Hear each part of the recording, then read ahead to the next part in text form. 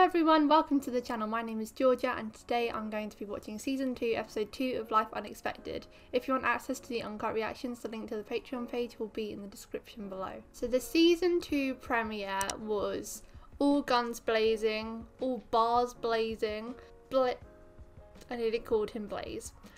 Baze's bar went up in flames because his new bartender lit a cigarette indoors and she chucked it in a trash can after he slept with her, by the way. So it set fire to the whole place. Everyone thought that Lux was in there, so Baze went in to save her, and then he ended up in the hospital, but it turns out Lux was out with this guy that she met to go and see the ocean.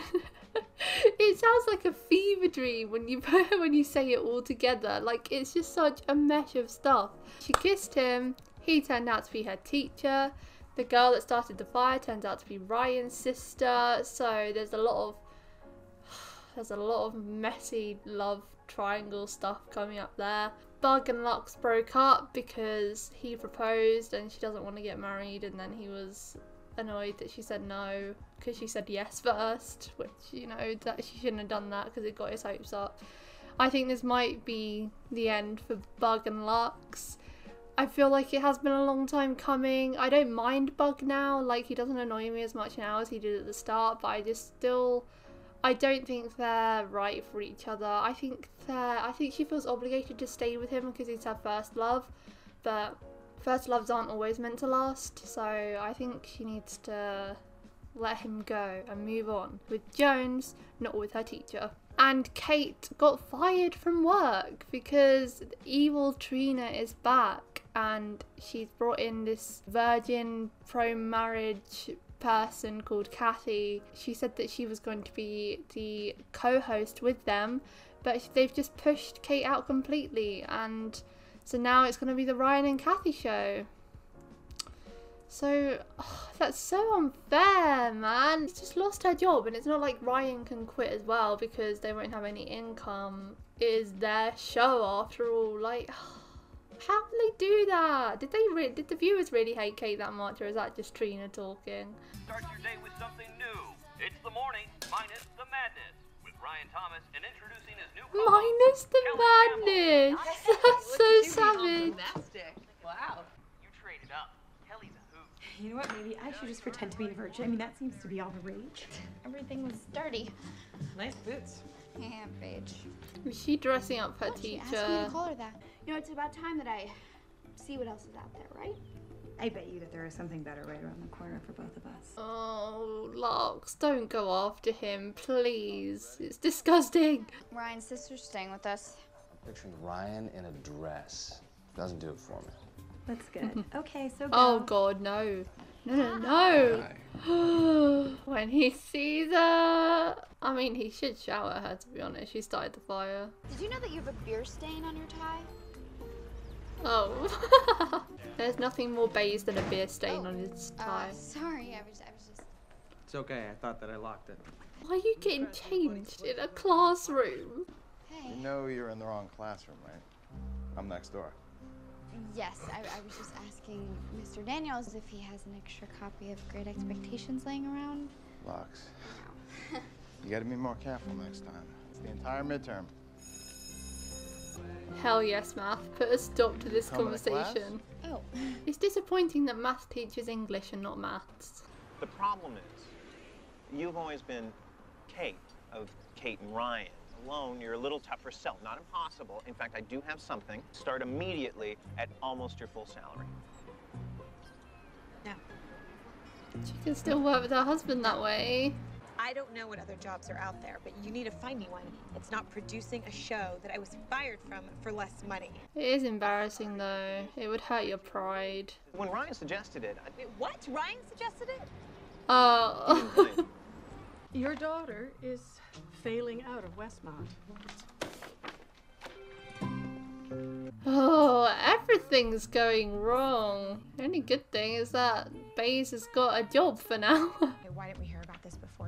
Someone from the school should have called or sent home a note. Mm -hmm. It's not.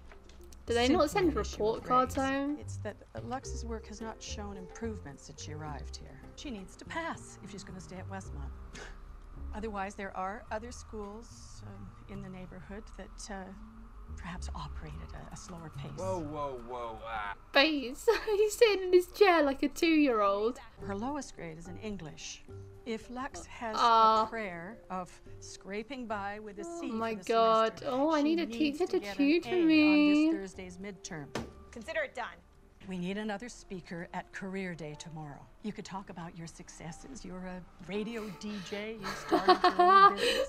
It could also show Lux that Could you not have been worse expectations for her as timing. well. Anyone can get A's in high school if they try. Did you get Debatable. A's in high school? Sometimes I know the answers on my shoe. Luck. Crazy in bed and burnt down my bar is all that I've got. He's saying this in the elevator. Imagine if these are the people Dad does, interviewing him. Really, all I need is a check. Nate Bazile here to see Emma Bradshaw. I'm Emma. Oh no. You're late. What makes you think you'd be a good fit at Fenmore Financial? Same last name as the guy who runs the place. Oh. Do you habitually sleep with girls without asking their last name? Ah, she was a new bartender. I was in a little bit of a headspace, so. You have no right to judge him on employee? that, lady. Could we just start this over? Um, would I be correct in that you're 32 and this would be your first real job? He was the owner of a business. That's You know a my real dad owns job. This company, right? I do not like her attitude. You two haven't seen each other all day, so I will go to bases and study. Why don't you just take the practice There's no way she's actually gonna made you and study. Listen to the study guide. Cate tried so hard. You know, she I made her used cards study, and an, a mock exam. Because Mozart, Mozart makes you smarter. Ryan, I have been doing this with her all day. I've got it. Scoring me a demotion at the place that fired me is your idea of helping? Don't.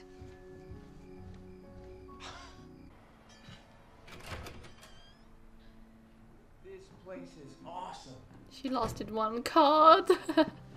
Just a mood. Why This is he there? Step up from living in the classroom. Hey, Lux. Sad that Jamie's Basil's gone, getting by the way. Um, You live here? not really. No, sometimes, but but barely. He's gonna be everywhere. No. I should probably think about this. I'll give you a call. I get it. Nothing can happen between us, but we still felt what we felt, right? Oh, What happened with us was a mistake. I'm not here for this storyline. I didn't feel anything. It's a lie. She totally judged me based on a private telephone conversation. Which were having in a Private. public elevator. You know what? I didn't want that job. Make her give you a chance. You, you built your bar from the wall studs up. You you ran a small business for years. Baze, you majored in economics in college. You need this job, and you need to stop telling yourself the game is lost before you even start. Go math with the pep talks. We think it would be a big hit in the 2 a.m. to 6 a.m. slot. Oh, Oh, I'm sorry. Um, it's not I exactly thought the prime open slot time. was morning drive time. Well, drive time's more of a two-hander. Okay. Well, then I will just think about it and I will get back to you. We'd love that. Love that. Really. This woman's a people pleaser. What the heck, Emma? hey, Bazile, we met the other day. Who knew we were members of the same gym? It's an all women's gym. Oh, Do you want to put on a suit and tie and analyze financial reports and sit in an office all day because that's what the job is? You're just a guy who doesn't know what he wants to do with his life, so he drinks and parties and is dumb enough to burn down his own bar. He's kind of right actually. No, just a minute. You think working for a show that fired me is the best I can do? No, of course not. It's what you were doing before we started working together. But it's the only idea that I have that will keep us working together. Really? Then why didn't you quit? Huh? Because that would have kept us together. I fought for you. Obviously not hard enough. Because while your career is skyrocketing, mine is in a free fall. Whoa, that's the angriest I think we've ever seen Cate. No, I feel like he shouldn't quit or shouldn't have quit because there's no guarantee that they'll definitely get a prime time slot somewhere else. That's why to me, the porta potty service is the number one business to be in. It's also the number two business. Uh, top potty, what a brand name. We spent the whole night together and you said nothing. If I'd known that you were 16, Then then... nothing would have happened. Eric, I'm sorry. Shouting Maybe about I would this because I liked in a you. school and I didn't want you corridor. to think that I was I was engaged and 16, like I was some screwed up kid. My very favorite radio host, Portland's own Cate Cassidy. Cate. uh, Oh, from, no. Uh, from Cate and Ryan. Okay, now I am just Cate. Uh, that's Kat. Oh no, no, no, no, this is not off to a good start. I'm sorry I'm late, everybody. What are you doing here? Oh, you know, it's career day, and uh, you're talking about our careers. So, uh, anybody used to listen to us on the radio, K100? Of course, I didn't want the job. What I wanted, and what I've always wanted, was to be on the air. So they put me on uh, one afternoon. They just the did booth it. To Banter with Ryan. And I realized I had a lot to learn. That instead of being so focused on where I wanted to be, I should be ready when I got there. This is a lesson to present Cate. That is why I wanted to work with her then, and that is why I still do. Ryan's also good with his speeches. Him and Math are the kings. I'm trying to be this person everybody expects me to be. You know, I'm supposed to be listening to Career Day and getting my grades up and and thinking about my future, but all I keep thinking about Don't do you you know what say- I keep thinking about? I do. I don't want to hear it. That night. Stop it. Lux, it was real.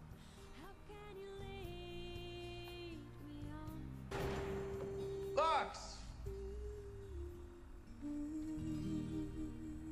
You missed a good porta potty speech. Thank you for being here today. You know, for being the one person in Lux's life that actually has a career. Quitting. Could have meant anything. It could have meant less money, Hmm. a new city, a gig that just didn't fit with having a kid. That's why I wanted to help her study. That's why I wanted to do this. I just wish that somebody would have asked me to do career day. Oh. Because I, I want to feel like she's my kid too, you know? No, don't cheat. Lux is making all the wrong decisions. I never saw myself as a business guy because I was afraid that I couldn't cut it, and I don't want my kid to ever not try because of that. You know, and I'm not about to let another thing I want slip away, and you shouldn't let me slip away. I may not have the right resume or credentials, but I'm a hard worker, I'm determined, and I'm fearless because believe me, I have nothing to lose. I'd give so him the you can hire me or not, that's your call, but you gotta know, I want this job. Oh my god, Fire Girl. Baze. Fire girl. What are you doing here? I've been looking for you. Well, I've been waiting for you to call me. Baze, Baze is his Ryan's little sister. oh my god! Oh my god! We actually got a 95! Oh, yeah! We need champagne, Brian! Come on, you got an A. Plus Cate's new job at the station. Uh, and you guys are looking at a new sales associate for more I don't think I could sit through that knowing I, I know, cheated. crazy, right? To Lux, doing what we all knew she could. That feels bad. Lux is um not making the best decisions this season. She's never really been good at making decisions for herself. But this season ain't cutting it. Oh, she's going after a 23 year old man who's her teacher. And she's cheated on her English midterm. I mean, it lets her stay in school now, and I know why she did it. I would have done a similar thing probably if I had the opportunity. If I saw the answer sheet there, I'd probably try and memorize some of it, I guess. Like, it is an easy option, and I know kids will do that. As an adult now, when you look back, you'd think, oh god, why didn't you just try a bit harder, you know? I'm more mad about the teacher thing. I don't like that storyline. Teacher student relationships are always just yuck to me and I feel like they're trying to make it cute and I don't like it. if she was 18, maybe, but she's 16, he's 23, still holding her hand even after he knows. Like, how? It's a literal child. How are you not disgusted by it? I really hope he doesn't move in. Her living with two of her teachers would be weird enough, but the fact that they might end up having an affair or something that creates more room for opportunity and I don't want it to happen so I hope he doesn't move in with them not to mention that He'll be living with her dad as well, which is weird. Cate was in a lot of turmoil about her job this episode. I think she's made the right decision in the end. Ryan came through as he always does with his good advice and told her that taking the producer job is going back, but she's familiar with the job. She's done it before. She got to her radio on air job before, so she can do it again. This is just a setback. It's not something to be disheartened by. And him not quitting was because he wanted to do what was best for them. And I understand that. I didn't think that he should quit his job because there's no guarantees that they'll continue getting gigs elsewhere. And like he said, like it could mean them having to move out of Portland, which would be completely unideal for Lux because it would drive her away from Baze or they would have to leave Lux behind if she didn't want to move. So it could have created a lot more problems. So I think he was in the right there. Ryan's always right. I always side with Ryan to be honest. But he came through with the good advice and that speech and like oh you could see how much he wanted to be involved with family stuff this episode but Cate was in a mood so she wasn't letting him and you know he felt a bit left out she feels left out of the work side and he feels left out of the family side and they just need to communicate a little better there. And Baze was trying his ass off to get his job, following that woman around in the gym. and he came through. At the end, he said a very smart fact and it was very confusing for me, for my pea brain. But it actually seems like he is quite smart. Like I didn't know he did economics in college and stuff like that. So he clearly does have like a financial business side to him. We just haven't seen it, I guess, because he said he's pushed it back and he wanted to be the complete opposite of his dad because he didn't think it was good enough. So he actually is smart and he has a brain to him, which is surprising. I mean, you know, he's always been smart in his own way. Sometimes, but yeah, he's actually quite intellectually smart, at least in business. It's very different vibe because you know he's always been that laid back chill dude party guy behind the bar. And now it'll be interesting seeing him deal with corporate people. I don't know. It's uh it's gonna be interesting. So that's it for today guys. Thank you for watching my reaction to season 2 episode 2 of life unexpected. If you want to watch the episode in its entirety then the link to the patreon page will be in the description below. But don't feel any pressure it's just for people that want to watch the episodes along with me. Leave a like if you enjoyed and i'll see you next time for episode 3 Bye!